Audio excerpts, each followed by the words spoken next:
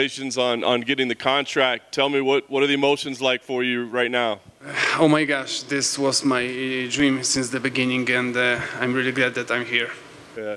Uh, Dana kind of made you sweat it out a little and Yeah. wait, right? Uh, what, what was that feeling like for you at that moment?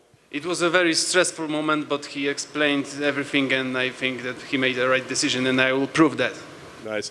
Can you talk about, uh, I guess, maybe how difficult it was to reschedule the fight? And um, I, I think you traveled home, right? And then travel back. I mean, how, how tough was this? Yeah, uh, I have many adventures during last month. So I was here in Las Vegas like three times.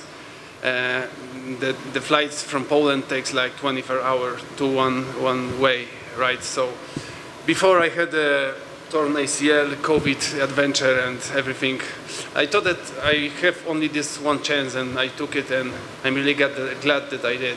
Yeah, I- and, and I know you don't you don't need to make excuses. You won, you got a contract, but I mean, did all that have an impact on how you performed tonight? I mean, I have to imagine it was. This has been fatiguing and tiring. Yeah, yeah, that, that was not, that I'm sure that wasn't 100% of me because I had a really better cardio than this and uh, the, the, the flights were like really tough because I'm here for uh, three days, right? I didn't have, uh, I, I came from the, the fight before and I had one week and I'm, I'm already here and I took the fight, so it, it, the time I spend is not too good. So Uh, it's not your, uh, you know, responsibility to stop a fight. But did you have any comment on the stoppage? Did you find it weird? What, what, do you think about it?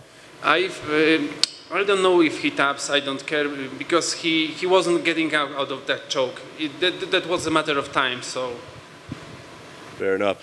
And last thing for me, uh, now that it's done, you will get to fight in the UFC. Um, ideally, is there, is there a, a time, a, a date that you want to make your UFC debut? Do you need some time away now to rest a little bit? I mean, what's the plan for you now? yeah, I want to get healthy and I want to fight as soon as possible.